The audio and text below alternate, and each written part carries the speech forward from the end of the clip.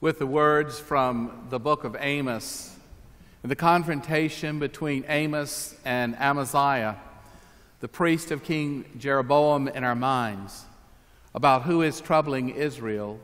Listen now to these words from 1 Kings chapter 18, the story of Elijah, reading the first two verses and then again at the 17th verse. Hear now God's word.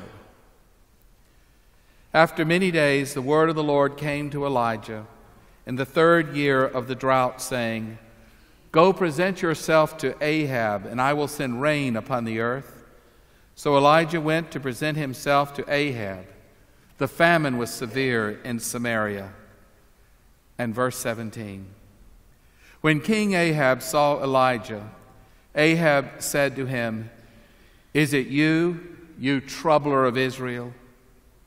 And he answered, I have not troubled Israel, but you have, and your father's house, because you have forsaken the commandments of the Lord and followed the Baals. Now, therefore, have all Israel assemble for me at Mount Carmel with the 450 prophets of Baal and the 400 prophets of the Asherah who eat at Jezebel's table. This is the word of the Lord.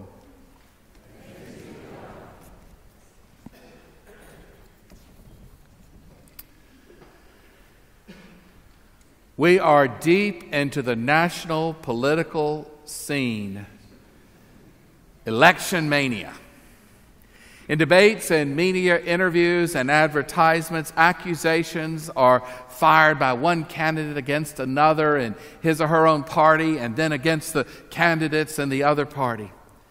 And no matter what our particular political viewpoint may be, I believe we would all agree it is indeed a national free for all. And the more outrageous the accusations become, the more the media whips up into frenzy. The nation is disturbed. The land is troubled with so many words. Is it for good or for ill? Who is right and who is wrong? Well, I tell you this not to discuss the politics of the day, but to set the stage for the conflict in Israel there is conflict in the land. Accusations fly back and forth between prophet and king. King Ahab and the prophet Elijah accuse each other of being troublemakers. And so I ask you, who is the troubler of Israel? Well, they both are. King Ahab troubles the land by his injustice, idolatry, and immorality. He abuses his power. He's lost his moral compass. He forgets his duty to God. He has brought devastation to the land, the covenant people of God. The land mourns. The land is in famine and drought. And here's the king. He's supposed to be God's representative on earth, worshiping God, pursuing justice, caring for the poor and the widow and the orphan. And yet, Ahab and his consort Jezebel, they abuse their royal power for their own evil ends. They are troubling Israel. Okay, but this evil king is right about one thing Elijah is also the troubler of Israel. Elijah challenges the unacceptable aspects of the status quo. He confronts the king with the prophetic word. He calls the people back to the worship of the true God. He cares for the poor and the forgotten of the land. He honors the commandments of God. He seeks God's way of peace and justice. And because of all these things, he is troubling Israel. Now, as you heard in the first scripture lesson, this conflict between king and prophet is not unique to this one king and to this one prophet. Around a hundred years later, King Jeroboam's religious puppet, Amaziah, who serves as the priest in the royal sanctuary of Bethel, says the same thing, more or less, to the prophet Amos. Now, Amaziah is no righteous priest, he knows who butters his bread. Amaziah serves as the complicit court chaplain rather than as the priest of the living God. And God calls Amos, a simple man, a herdsman, a dresser of sycamore trees, to leave his home in the southern kingdom of Judah and to be uprooted and to go north to proclaim in the very household and the sanctuary of the king the truth of the Word of God. He is no church professional. It's not his family business. Oh, no. But God calls whom God chooses. God sends Amos to stand in the gates of the house of the Lord and to proclaim the truth of God, for he too is a prophetic troublemaker who stands for the justice of God and the injustice of the kingdom. Now, we need prophetic troublemakers, lest we forget what God demands and we become too comfortable with the way things are when the way things are is not always right, when there is injustice in the land. Now, this sermon is not about our current political debates. Oh, no, but it is about ordinary people like you and me, followers of Jesus, whom God uproots to love our neighbors and to serve the causes of God in the world, to be, in essence, prophetic troublemakers. We have all been stunned by the news reports that have come out of Flint, Michigan, with their water crisis. For a year and a half, the people of Flint, Michigan, one of the poorest cities in America, have been drinking water that is contaminated with lead. And as you know, the problem developed when the city of Flint made the cost saving decision to stop using the city water of Detroit and to draw their water out of the Flint River. And residents began to notice serious problems. They became suspicious of the water. LeeAnne Walters noticed how her children were losing hair, developing rashes, having abdominal pains. So she suspected the water and had the water tested lead poisoning.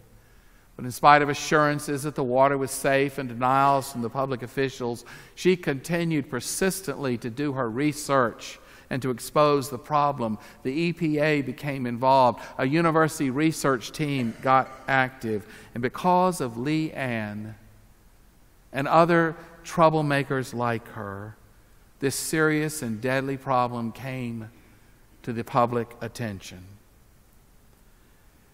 It's finally, we're doing something about it. All because of ordinary people who said no. And now one of her five year old twin sons is failing to thrive and developing other long term problems. And we will not know what the permanent results and consequences of this poisoning will be for many, many years. You know, anyone can be a troublemaker. It doesn't take a loud voice and a pet cause. Oh no, some, like the kings and queens of Israel, were troublemakers, troubling the land in pursuit of their own self interests and narrow pursuits.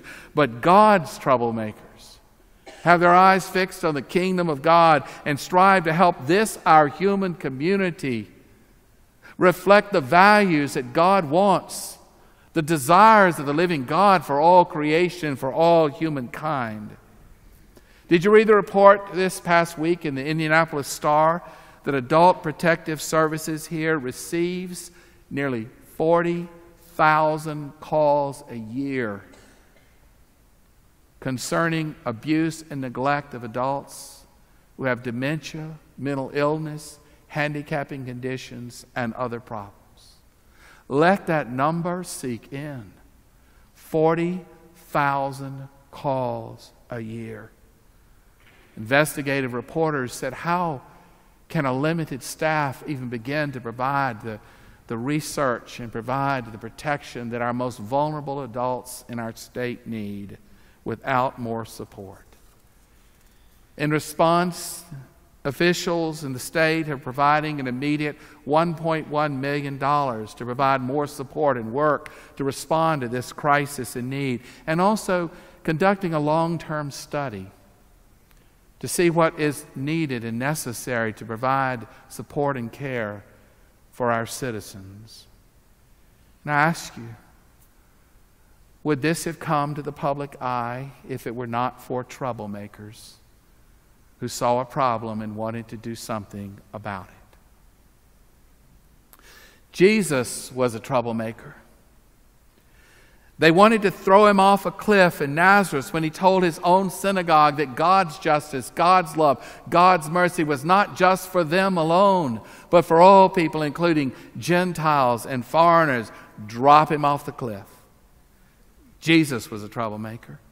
He disrupted temple worship and said, Hey, friends, this is the house of God and is a house for all people, and you have made it a den of thieves. Get rid of him. Jesus is a troublemaker. He shattered class divisions and religious rules to create a new community of faith, to love and to honor God and to care for one another. We're not going to put up with that. Jesus was a troublemaker. He gave people a second chance in a culture that really didn't much believe in second chances. Crucify him.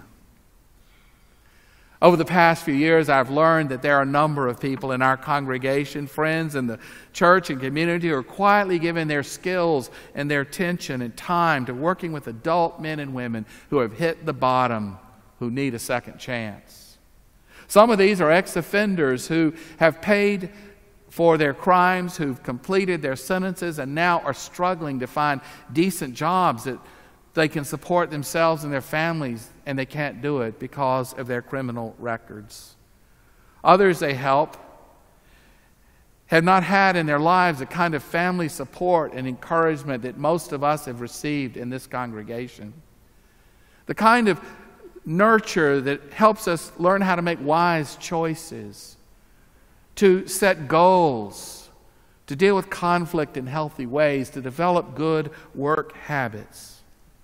Well, these friends and individuals are not only mentoring others, but they're working behind the scenes to change the system and provide new possibilities for those they have encountered in their ministry.